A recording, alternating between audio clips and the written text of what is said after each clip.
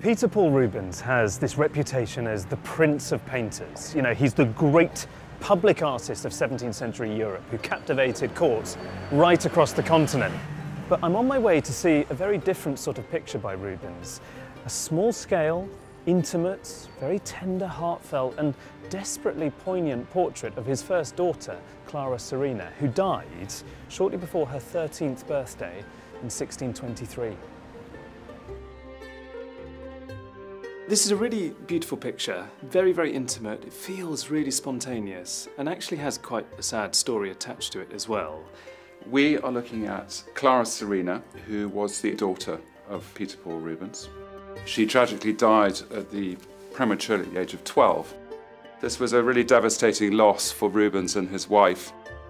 Rubens was very, very firmly established by that time. He was basically the leading court painter in Europe. That's the fascinating thing about this, isn't it? There's that very, very public self, which is the Rubens we all know. Yeah. This is not that. No, absolutely not. You know, this is painted at a time when he was undertaking, you know, huge commissions, highly ambitious in scale, and yet he returns with this picture to something very intimate and, and very personal to him. The picture bears all the hallmarks of Rubens's brushwork and, and his manner of uh, execution, in particular blending flesh tones. He used a sort of badger brush, and so he would apply impasto paint and then blend them together in a very individual manner. I think one of the curious things that strikes me about it is you have almost like these two aspects to it because there are these wonderfully warm pinks, rosy colours on the skin, which give it that lifelike feel but generally the tone of it feels almost quite muted, right. almost stone-like. It has a sculptural quality to it. The way her shoulders are, are, cut, the chemise and this wrap she wears around her shoulders, very much things one associate with portrait busts in a, in a sculptural sense.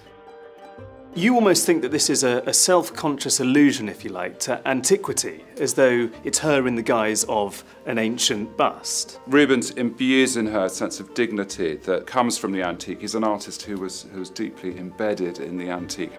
And I think one does get a sense of a, of a very dignified, uh, yet personal image with this portrait.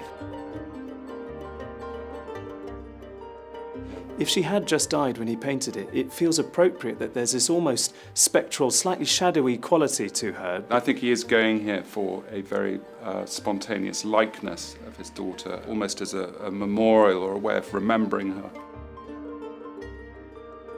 The picture acts very much as a private memory uh, of his daughter, and it's a private memory by one of the great public artists of the Baroque.